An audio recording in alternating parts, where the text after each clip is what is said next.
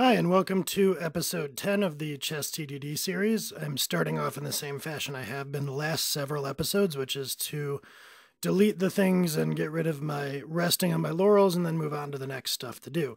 So, kind of at the very end of the episode 9, I didn't have the queen move to its class where I wanted to do that, so now I'm going to do that very quickly. Also, for what it's worth, this is the first time I'm doing a recording audio cast on my new computer, so hopefully everything goes smoothly here. Um, we shall see. Please feel free to leave uh, feedback in the comments or on YouTube if it doesn't. Um, so not much of a grand experiment, but it is something new that I thought I'd uh, make everyone aware of. So anyway, back to what I was uh, talking about. Today I'm going to be implementing knight, which is the last remaining piece. And I'm going to mark move queen to its own class as green, and then I'm going to move on to knight. And I'm going to proceed kind of in largely the same fashion that I did in defining the other pieces. I'm going to define a class called knight test, and then go through my usual rigmarole here of making that a test class and starting to define internal classes and all of that. You should be pretty used to this pattern by now. One thing that I'll say, and, and I'm going to get to in a minute here, and today I actually have the advantage of having, for the first time since the very beginning, done the coding and recorded the audio in the same day. So I actually remember pretty much exactly what I did. Um, one thing I'm going to talk a little bit about here is you've noticed me kind of get into this rhythm of writing two tests. The first one I'll make pass with something kind of obtuse. The second one I'll get a little more algorithmic. Then I'll go back and sort of add my overhead where I remove duplication from the test methods themselves, and I kind of proceed in this fashion. And one thing, kind of as I'm doing this familiar thing and not necessarily narrating it verbatim, that one thing I um, think worth mentioning is that I would suggest avoiding falling into a pattern that's a little too familiar. if you find yourself ever sort of coding brainlessly, even if you're not doing some of the cardinal sin type things like duplicating code or anything, coding brainlessly generally isn't good. As software developers or knowledge workers, we should kind of always be thinking, thinking of ways to solve problems better. So don't let yourself get comfortable in routines. Don't take comfort in, you know, banging out the same code over and over again. If you're writing it over and over again, find a way to automate it, find a way to make it better. So anyway, I will uh, get to the point here in a minute where where you see what I'm talking about with my own uh, methodology here. So I'm doing something very familiar. I'm defining this get moves from method that takes a board coordinate and it takes a um, board size. And then as uh, we've seen in the last couple of episodes here, the, the quickest way to actually get this in place is going to be to implement the abstract class. So now I have this and it's only failing because I'm throwing an exception. So I'll return null and there it's passing. And now what I want to do is I want to assert what I'm saying here in the title of this test method. I want to assert that this uh, 3-2 exists. And of course it doesn't. Now what you're going to see that also looks pretty familiar is I'm going to do something pretty obtuse here, and I'm going to say, well, let's return this board coordinate that this test method is looking for, which is going to obviously make it pass. So yield return, and then um, I don't like that missing bit of code coverage here, so I think I went in and kind of quickly tried to do ToList and then figure out, oh yeah, that's not going to work um, because I am returning one and I don't have an extension method to that effect. So I moved on. And now I'm going to do a similar kind of thing, which is um, just knowing how knights move. If you're not familiar, by the way, uh, knights move in an L shape. So two in one direction, one in the other. It can be either X or Y uh, for the two and one. Um, so there's a fan out total of eight moves from a given piece if you're in the middle of the board, or I should say from a given space for a knight. Um, so if it returns 3 2 from 1 1, it should also return 2 3 from 1 1. So I'm going to kind of laboriously write this out again, and then I'm going to have it pass the same parameters. And I'm going to make a very similar looking assert, except with the coordinates transposed. And now what I'm going to do is interesting, and and I kind of wanted to do it this way to illustrate a point, which is I'm going to go in here and I'm going to do another obtuse thing. Now, usually you start out obtuse and you get smarter with each um, test case that you introduce. But if you're not really sure in what direction you want to take this, and at the time of coding it, I wasn't because I wanted to do some maybe LINQ magic, but I wasn't quite sure how I was going to do it it's okay to do an obtuse thing again. These are both valid test cases that are going to need to pass later. So, you know, if if that's what it takes to get your thought process going, then hey, great, so be it. Um, I wouldn't go on like that indefinitely. You need to form a plan eventually, but you can have a little bit of uh, room for error there. You don't always need to be getting smarter. For the time being, you can sort of fudge it. Um, that's probably not the right way to put it, but you can you can sort of put off getting smart if you're introducing more valid test cases. There's nothing wrong with having them, and um, this is especially the case if it's maybe helping you think through the problem. So I wanted to mention that. Now, what I'm doing here is the kind of repetitive pattern that I was talking about, where I'm sort of mindlessly repeating the same thing over and over again. So I've been doing this target um, and getting rid of the instantiation logic by abstracting into the parent class. But sooner or later here, I'm going to decide, you know, maybe there is a better way to do this. Maybe um, instead of having a definition for the board coordinate itself, which I had been doing in previous in, uh, incarnations of this, saying moves from 1 1 or something. Maybe I want to define this method that I'm initially making static, but I'm about to realize here I can't because I'm referring to an instance member. So I'm going to define this get moves from method. And I think that that's going to be a nice way to wrap up this board coordinate stuff, but still give me the flexibility. Instead of saying from 1 1, I can say moves from XY. And I never thought of this before, and I'm o- I only just thought of it as I was writing this code, you know, with a week or two or whatever perspective on it. Like, hey, maybe there's a better way to do this. So I encourage you always to kind of be thinking, even if you're familiar with it, you think you've got a pretty good routine down, a pretty good way of writing code, always kind of revisit what you're doing. Now, um, that's something I did well. I'm going to point out as I'm making the mistake, a mistake that I'm making right here, which is if you'll notice in the bottom right, I'm yellow.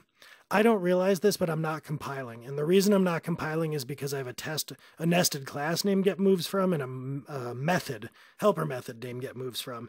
So I did not notice as I was going along coding that my dots on the left were, well, green, they're light green, meaning I'm not compiling. So I am refactoring while not compiling, and I'm assuming that I'm green. So, you know, no matter how long you've been doing this, you're always going to be prone to mistakes. It's pretty critical to go in and make sure that your um, code is constantly doing what you think it is. And right now, I'm not aware of it, but the code is not behaving the way I think it is.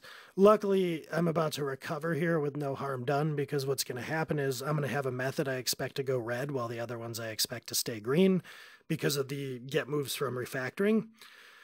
Once I figure out and flounder a little bit to uh, decide why this isn't going red, oops, there we go already contains a definition, but in embarrassing moment, I still didn't get the hint. Um, I believe I did a Control Shift B to make it compile so I could actually click on what was wrong in there. Oh yeah, we can't have two things with the same name, so I just call this, I believe, get moves or moves from or something.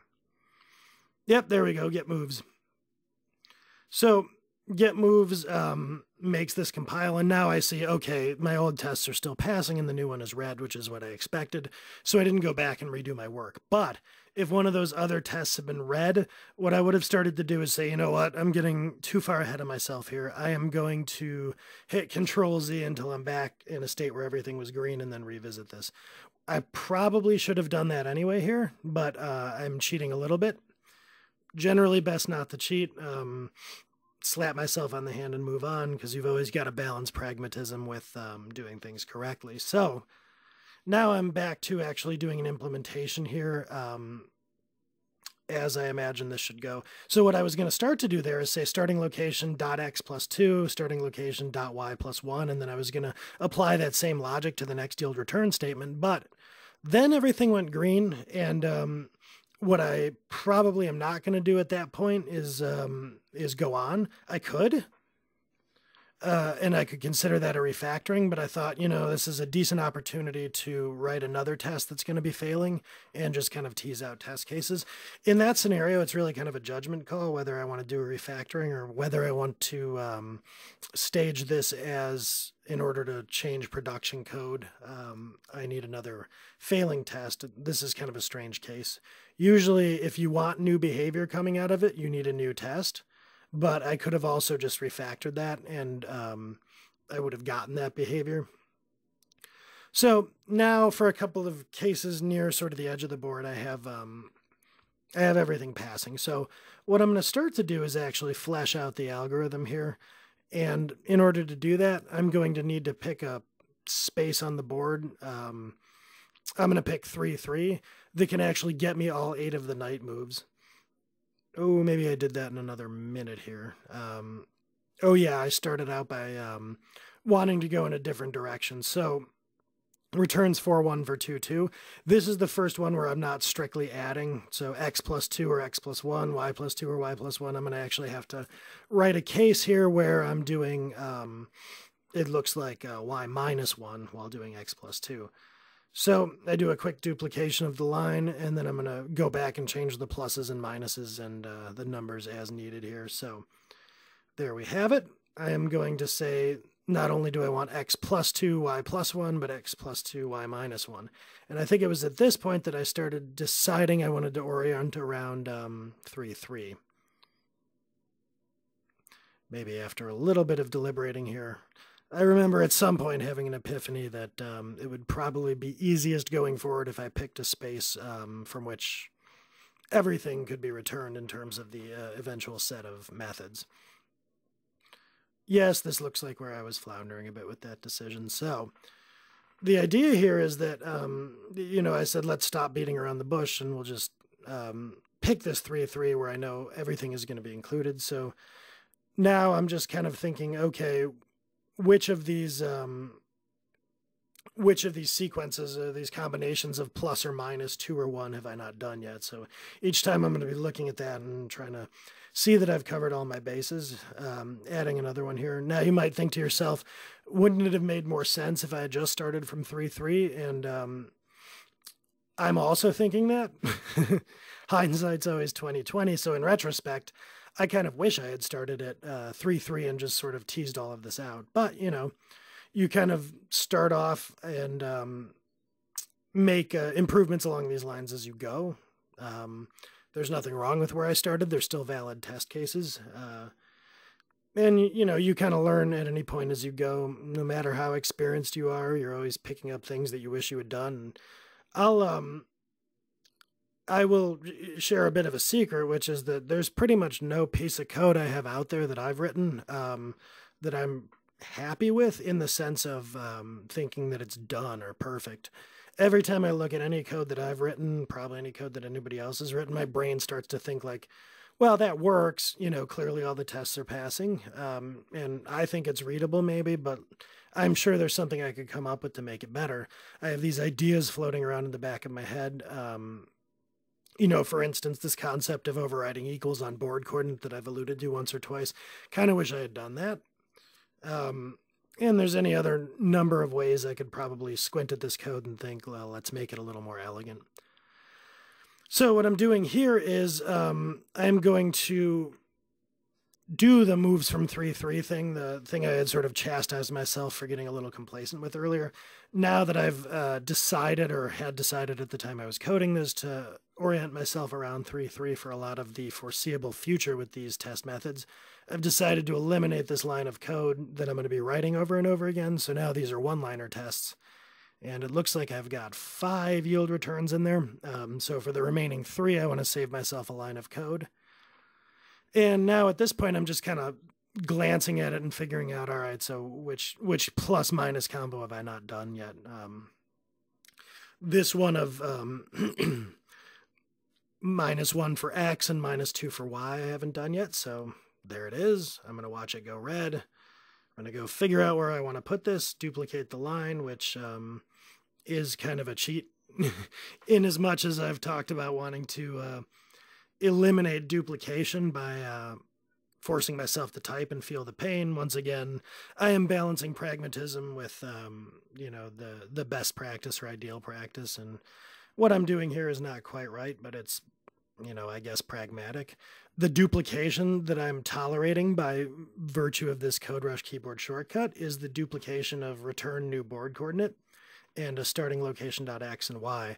So, in looking at this and watching myself coding, the better thing to do would probably be to define some, silly as it sounds, little static method that just took, um, you know, the integer offsets as methods for x and y, or I'm sorry, as arguments for x and y, and then did all of the uh, return new board coordinates starting x, starting y.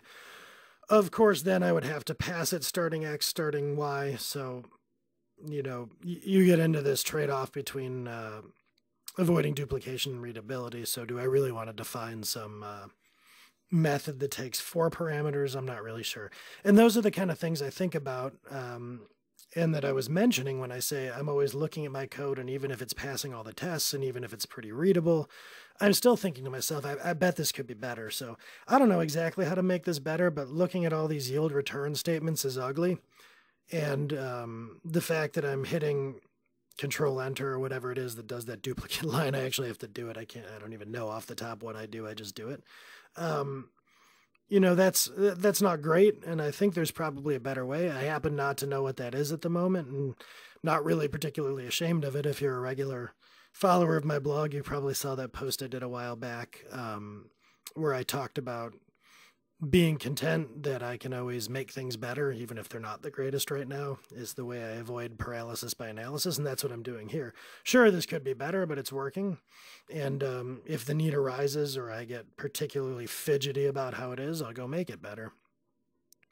Anyway, back to the um, you know actual action going on here. Um, what I'm doing is um, putting in this check to say, let's not return any illegal things because there's nothing guarding against that right now.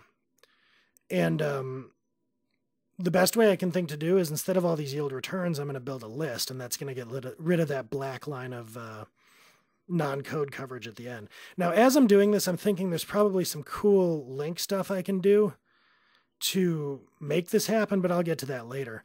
Also, here's something cool you're going to love me for if um, if you aren't familiar with it in Visual Studio, hold down Alt, and I'm about to do it again in a second here. If you hold down Alt and then drag the mouse cursor, you can actually delete in rectangles within the IDE. So check this out. You can delete all of those, or you can paste or, do whatever. You actually have the ability to like um, magically handle squares of text. So that's how I did that. I believe Alt and click. Um, if I'm wrong, maybe I'll post a correction, but that is a wonderful thing to know in the oddball situation that you have, like the one I just had. Um, I was absolutely tickled when I discovered that some time back. So, anyway, back to the point. Um, I'm now building this into a list and then returning a filtered version of the list. Um, this gets rid of my non coverage and it lets me color this thing green. So now I've got a little bit of uh, housekeeping to do before I let you go. One thing that I'm going to mention here is that I want to you know, maybe get a little more linky, as I like to say, um, in this method. I'm not I'm not hugely thrilled about this, and I'm thinking there's probably some way of iterating over the pluses and minuses and twos and ones.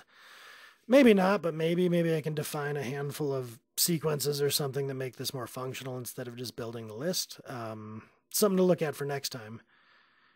The other thing I want to talk about here is uh, moving Knight to its own class.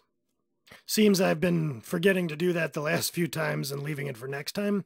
So I'm going to put that in and then I'm going to call it an episode. So I will see you next time. Thanks for watching.